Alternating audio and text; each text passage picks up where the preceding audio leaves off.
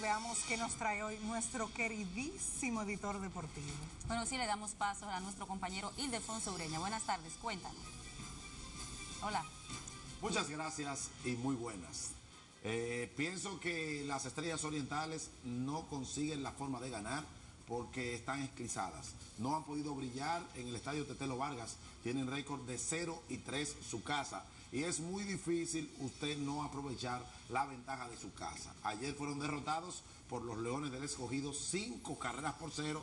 Se detuvo la racha de derrotas de los Rojos y se mantuvo de, la racha de derrotas del conjunto oriental. El round robin hay que comenzar ganando rápidamente porque en la tabla los toros se han quedado solos en la primera posición. Los leones y las águilas están empatados en el segundo puesto y las estrellas no pueden brillar aún.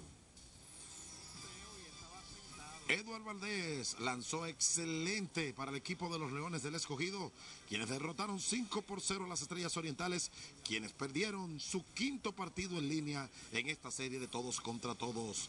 Mauro Gómez se fue profundo por el jardín izquierdo con su tercer cuadrangular. Lorenzo Barceló lanzó primores para el equipo de las Águilas Ibaeñas en seis episodios, pero no pudo contra los Toros, quienes derrotaron ocho carreras por tres a las Águilas en el Valle de la Muerte, adueñándose del primer lugar en la serie de todos contra todos. LeBron James anotó 32 puntos y terminó con una asistencia LeBron James encestó 32 puntos y le faltó una asistencia para terminar con un triple doble, mientras que Don Wayne terminó con 27 unidades y el hit de Miami derrotó 119 por 109 en tiempo extra a los Dallas Mavericks. Chris Bosh sumó 17 unidades.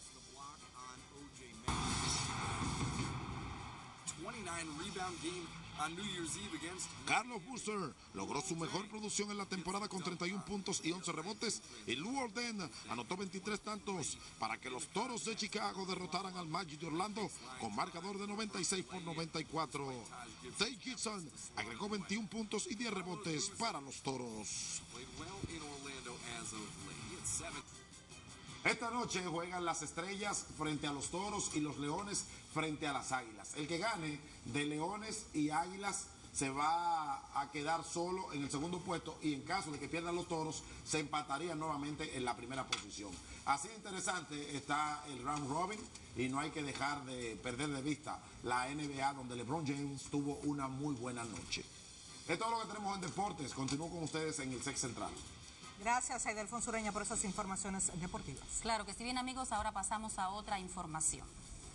El presidente Danilo Medina envió un mensaje de agradecimiento a los comercios que han asumido por el mes de enero el aumento del impuesto a la transferencia de bienes industrializados y servicios ITEVIS en beneficio de los consumidores. Por medio del vocero de la presidencia, Roberto Rodríguez Marchena, el mandatario expresó que durante este mes los consumidores no serán afectados por el alza en los artículos de primera necesidad.